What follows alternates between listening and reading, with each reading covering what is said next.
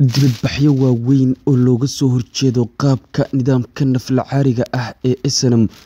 uu ugu biiray dhankaas iyo dowladda federaalk ah ee Soomaaliya ayaa ka soconaya Hargeysa iyo deegaano kale oo ka tirsan nidaamka naflacaariga ah ee Snm. Muuse Biixi Cabdi, hogaamiyaha nidaamka naflacaariga ah ee Snm, ayaa waxa uu u muuqdaa in si weyn uu uga fakarayo qaabkii uu isugu dhiibi lahaa dowladda federaalk Soomaaliya isla markaana uu xil uga heli lahaa dowladda dhexe ee dalka. Muuse Biixi waxa uu rabaa isaga oo uu xil hayo Cabdi Xaashi Cabdilaahi, guddoomiyaha aqalka sare ee baarlamaanka federaalk Soomaaliya oo isku jifo ay yihiin in isna xil sare uu ka helo dowladda federaalk ah ee Soomaaliya. Wuxuuna si weyn u baadigoobayaa ra'iisul wasaare ku-xigeenka dalka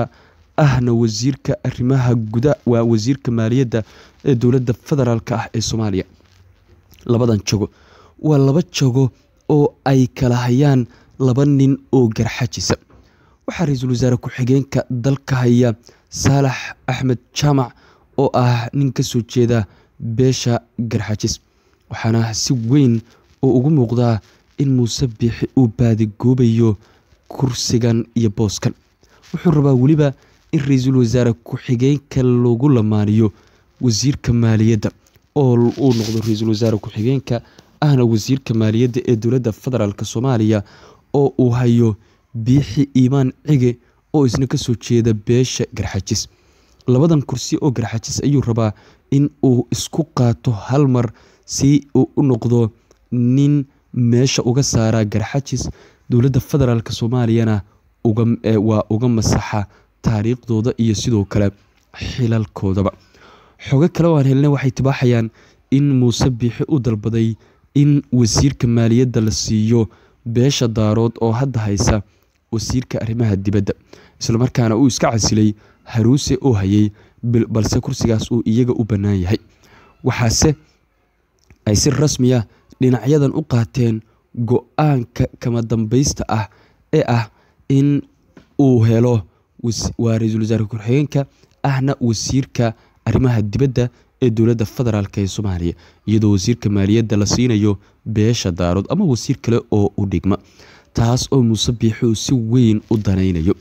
Dibadbaxyo kala duwan oo arrintaas looga soo horjeedo heshiiska ay dhinacyadu galeen iyo qaabka Maxamed Kaahin oo wasiirka arrimaha gudaha ee nidaamka naflacaariga ah ee Snm uu isugu dhiibay dowladda federaalk Soomaaliya ugana soo muuqday TV-ga qaranka Soomaaliyeed ayaa arrintaas waxay sababtay in si rasmi ah ay dhinacyadu u qaataan dhammaanba tallaabooyinkooda, go'aanadooda iyo sidoo kale qorshayaashooda kala duwan. Iyadoo si weyn la isku dhaafsanayo waxyaabo muujinaya in lagu jiro xilligii ugu habboonaa iyo sidoo kale waqtigii ugu macquulsanaa ee si rasmi ah ay isku fahmi lahaayeen.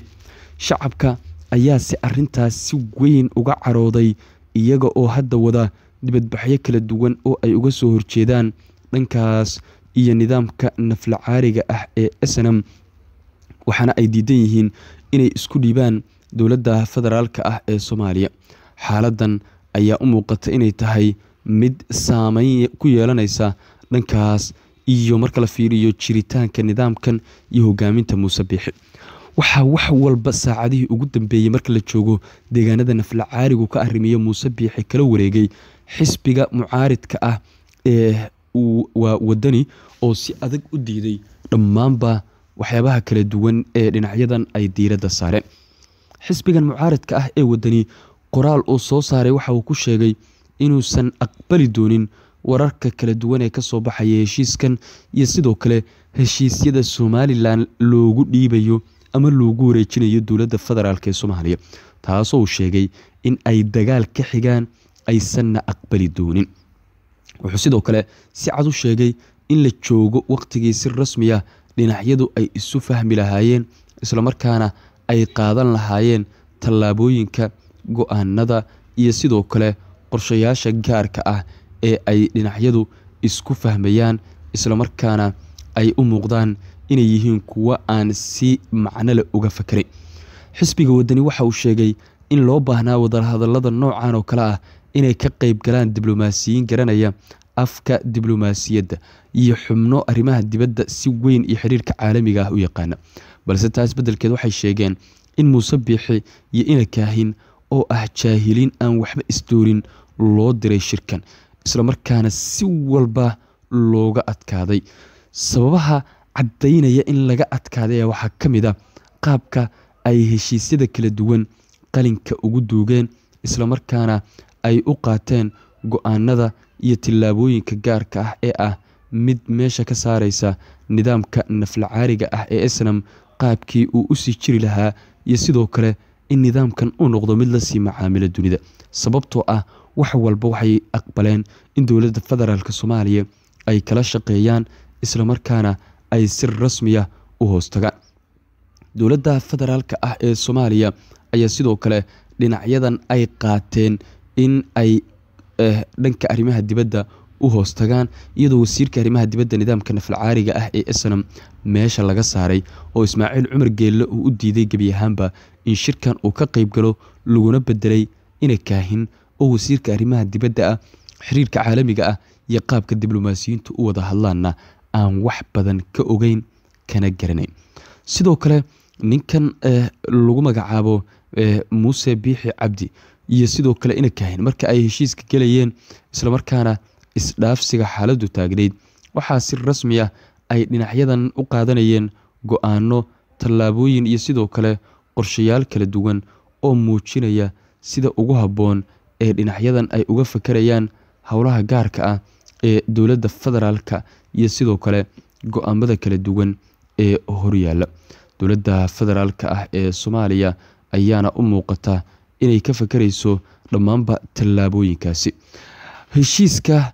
faylasha lagu galay ayaa waxay ahayn kuwo buluuga oo calanka soomaaliya ah taas oo muujinaysay in nidaamkan u isdhiibay islamarkaana gebi ahaanba meesha laga saaray wax walba oo saameyntii calanka nidaamka nafalcaariga ah ee islam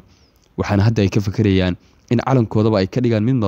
mid maamul goboleed ama ay calankooda bedelaan oo calan cusub oo maamul goboleedyada ah si rasmi ah u soo saaraan. Dibadbaxyada kala duwan ayaana arintaas keentay in looga soo horjeesto. Sidoo kale ina marka uu hadlayey waxaa hortiisa ka muuqanaya telefishinka qaranka soomaaliyeed oo markii hore uusan ogolayn islamarkaana ay diidi jireen. Ugu dambeynse qaab sandullo qasab iyo xoog ah ayay ku aqbaleen in telefishinka qaranka soomaaliyeed ay la hadlaan islamarkaana ay u aqbalaan inuu yahay telefishin qaran oo muujinaya in lagu jiro wax walba oo saameyn ku leh xaaladaha taagan. Dhinacyadan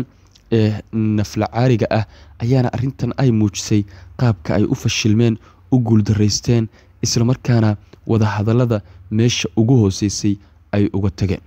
warqaba t v ayaan idiin soo gudbin doonaa wararka soo kordha